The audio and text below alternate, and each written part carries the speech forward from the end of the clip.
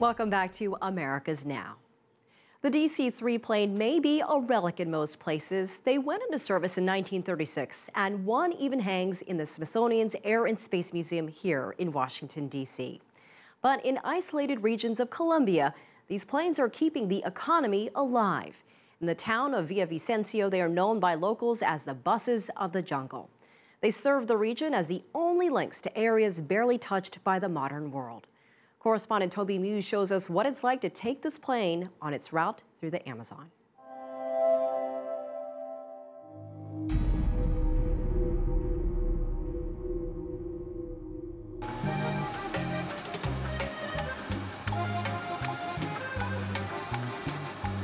At 70 years old, this DC-3 plane looks like a museum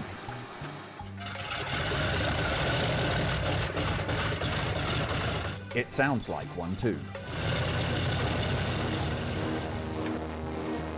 Para mí, eh, la experiencia de volar un DC-3 es un honor. For me, it's an honor to fly a en mis manos DC-3. To have in my hands a jewel of world aviation, it's still being used even these days. nuestros días.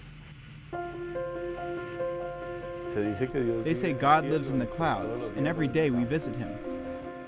For the past 30 years, Captain Joaquin Sanclemente has been flying DC-3 planes over the Amazon jungle. In that time, he's racked up over 25,000 hours in the air.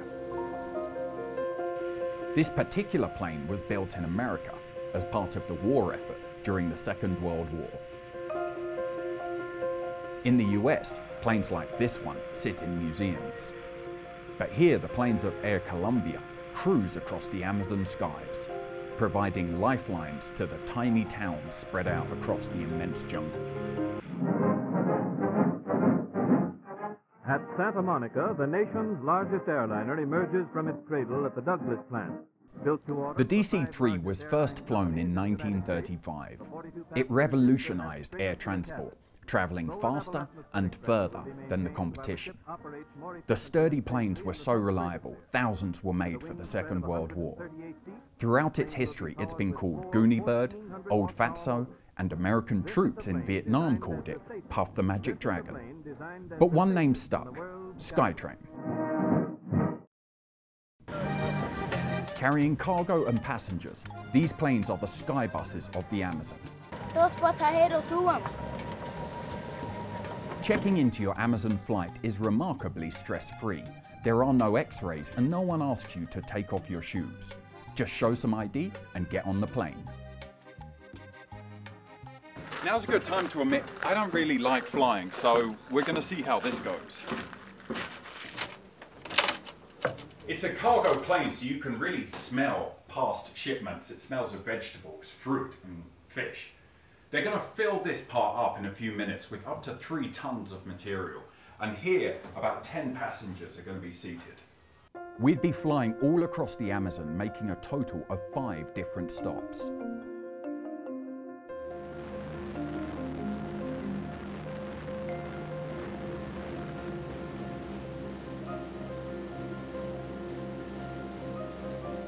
Colombia's southeast corner is a region of few people and vast jungles, an area the size of Germany.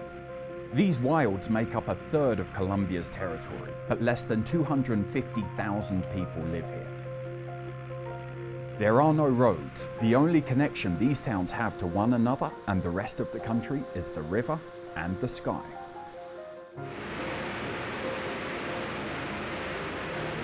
The ride's surprisingly smooth, with just patches of turbulence. But because the cabin isn't pressurized, it gets chilly at 9,000 feet. And the roar of the engines makes conversation with the other passengers almost impossible.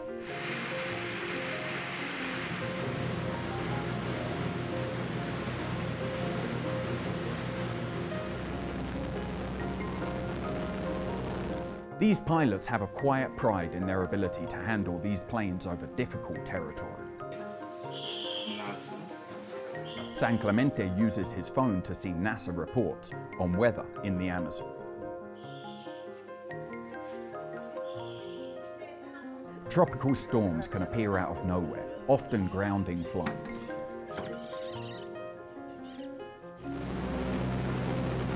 And the jungle is merciless.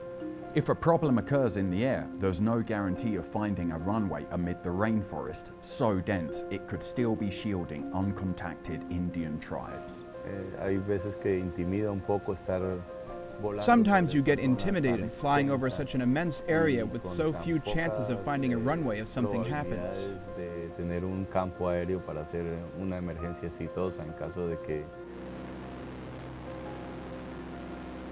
During one storm, one of the plane's engines died. había muy mal tiempo, severo. There was severely bad weather which was pushing us down. Entonces, tú en este tipo de aviones tienen la opción de Thankfully, these planes have the option of getting rid of the cargo over the uninhabited jungle. We tossed out chicken and meat that we were bringing to the town of Taraira. Lanzamos algo de pollos, eh, carnes frías.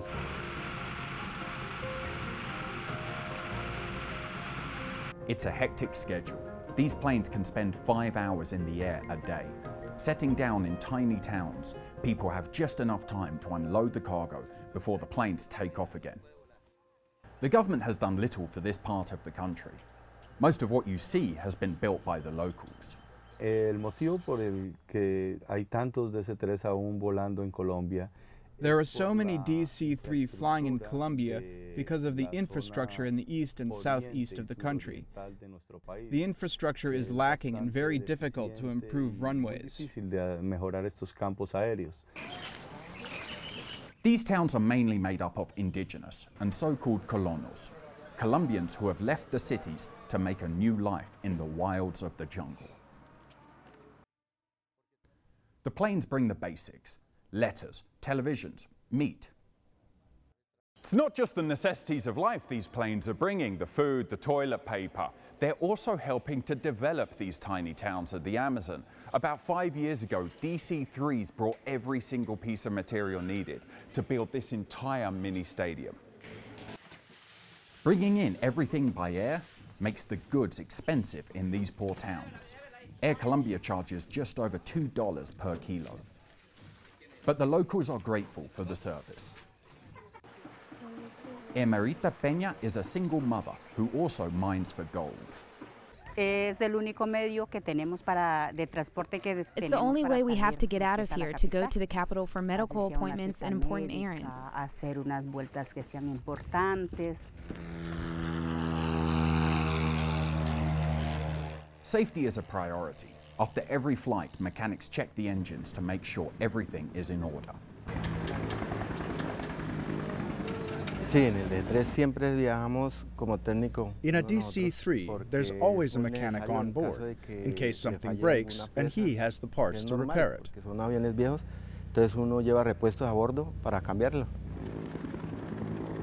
Eh, es muy confiable, su vida útil no está determinada por eh, It's very eh, safe. tiempo de uso. The plane doesn't have a lifespan, so as long as it's in good condition, it can fly forever. Para siempre, porque no tiene una vida útil específica. San Clemente's daily commute is a beautiful one.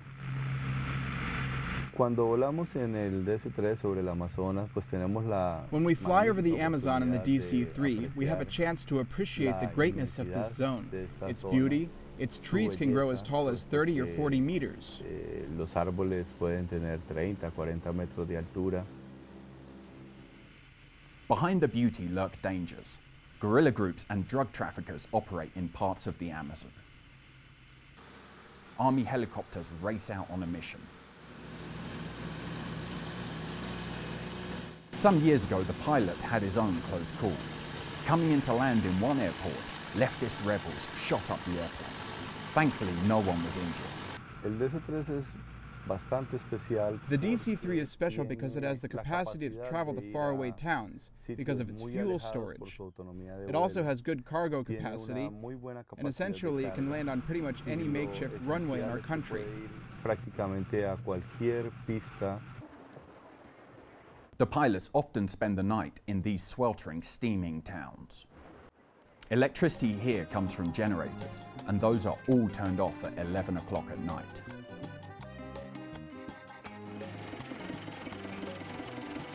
Early next morning, it's time to go.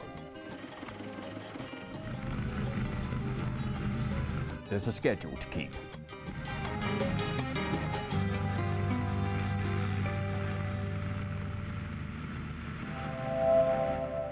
Our thanks to Toby Muse for that report. There are about 10 of these planes flying out of Villavicencio. Another 10 are used for parts. Pilots like the DC-3s because of their reliability and that it can fly more slowly than other planes.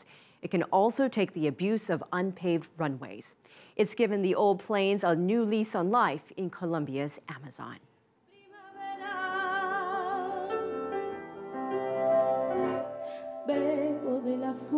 Coming up.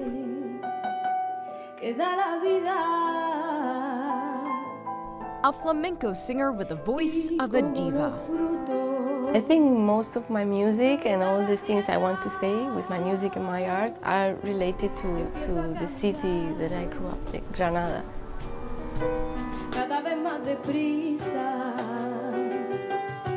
Americas Now.